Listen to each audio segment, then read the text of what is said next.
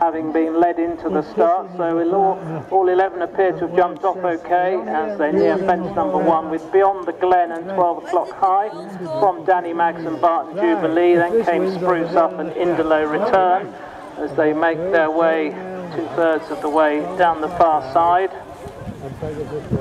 with Alpha Rat towards the back markers, along with Shemper's Iron, who's the one that's held up last Fairmount Gent just in front of that one. TaylorMade Boy, the favourite, is racing about fifth from the tail as they cross over fence number three. So beyond the Glen, John Dawson looking for a quick double here this afternoon, making the running. 12 o'clock high, Cath Walton aboard the grey wide on the course. They're being chased then by Barton Jubilee in third. Then Indolo return with Danny Mags and TaylorMade Boy. Followed by Spruce Up, Pegasus Walk, near side Fairmount Gent as they near the next one with uh, Shempazan towards the inside. Alpha Rat was the last one to take it. All safe, nearing fence number five. 12 o'clock high, with a narrow advantage over beyond the Glen. Bart Jubilee's in third, then Indolo Return is in fourth place. From Shempazan in fifth, TaylorMade Boy is sixth, Danny Max is seventh, from Pegasus Walk in eighth, Fairmount Gent is in ninth place, from Spruce Up in tenth, Alpha Rat last of the 11 make their way towards the open ditch for the first time. We're beyond the Glen, slightly stuttered over it. 12 o'clock high, Cath Walton, narrow advantage. Barton Jubilee's back in third, followed by Indolo Return. TaylorMade Boys fairly keen for his head, the favourite, with the white and blue stars. Followed then by Temper's Iron, Shemper's Iron towards the inside. Danny Max is chasing those with Fairmount Gent, whose rider Joe Wright has ridden five winners in the last week including three under rules. A man in form, but you have to be more than informed to get this 11 year old to win today, I fancy. So they're back into sight again with Spruce Up and Alpha Rat at the tail of the field. Behind the trees they race and on towards the old Raby Hunt Club sponsored eighth fence with 12 o'clock high. Indolo return has come through to chase that one with Barton Jubilee next in the field.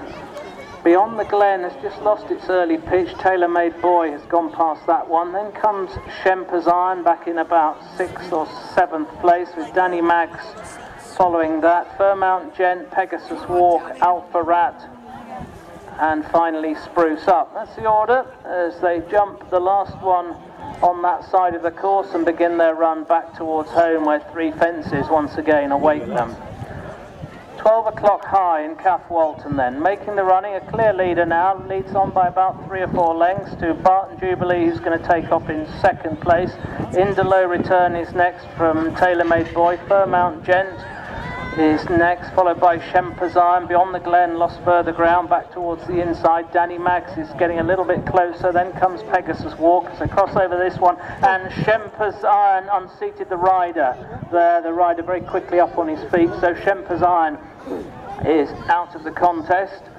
As they jump, what will be the final fence in a circuit's time? The rest of them jump it okay. 12 o'clock high then for Cath Walton. Michael Broad out in front a length and a half in front of Barton Jubilee on the inside of TaylorMade Boy. Indolo Return and Danny Mags are chasing those. Then Pegasus Walk beyond the Glen, Spruce Up. Alpha Rat is now struggling. The open ditch for the final time.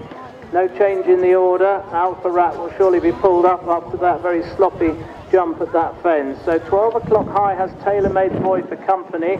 And uh, then comes a Fairmount Gent with Barton Jubilee, Danny Mags around horses as they make this turn to race down the far side for the final time. In a packing field, any one of the ten that remain could win from here. All going reasonably, nine that remain could win as Alpha Rat has been pulled up. So they jump the fence just obscured from us here and the lead is now with TaylorMade Boy from 12 o'clock high.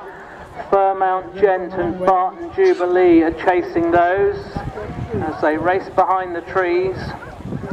And Tailor-Made Boy then to Fairmount Gent in second. A mistake from 12 o'clock high as Barton Jubilee goes into a clear third. Danny Mags continues to improve behind those. And then Pegasus Walk, who's in about sixth or seventh place but is driven along. Indolo Return and Spruce Up beyond the Glen finds itself at the back of the field, the early leader. So they're once again behind the trees and they re-emerge and they have three fences to jump in the Ripon Farm Services restricted race. So turning in and it is Tailor-Made Boy who narrowly avoided the loose horse crossing the course.